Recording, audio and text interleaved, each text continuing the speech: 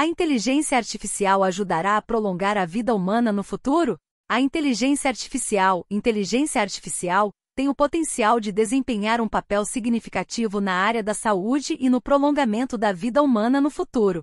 A inteligência artificial pode ser aplicada em diversas áreas, como diagnóstico médico, pesquisa farmacêutica, monitoramento de saúde, assistência médica personalizada e gerenciamento de dados clínicos, entre outros.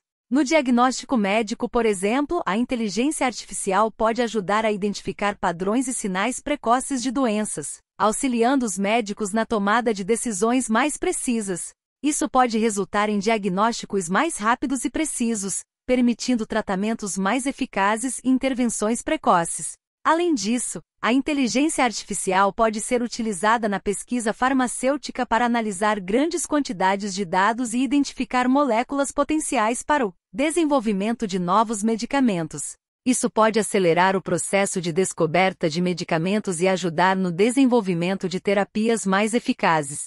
A inteligência artificial também tem o potencial de melhorar o monitoramento de saúde, permitindo a coleta contínua de dados e o acompanhamento em tempo real. Isso pode ajudar na prevenção de doenças, na detecção precoce de problemas de saúde e no gerenciamento de condições crônicas. No entanto, é importante ressaltar que a inteligência artificial é uma ferramenta e não substitui a expertise e a experiência dos profissionais de saúde.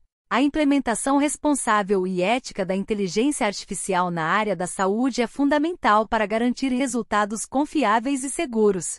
Embora a inteligência artificial possa oferecer avanços significativos no campo da saúde e contribuir para o prolongamento da vida humana, é importante considerar as implicações éticas, sociais e regulatórias associadas a essas tecnologias.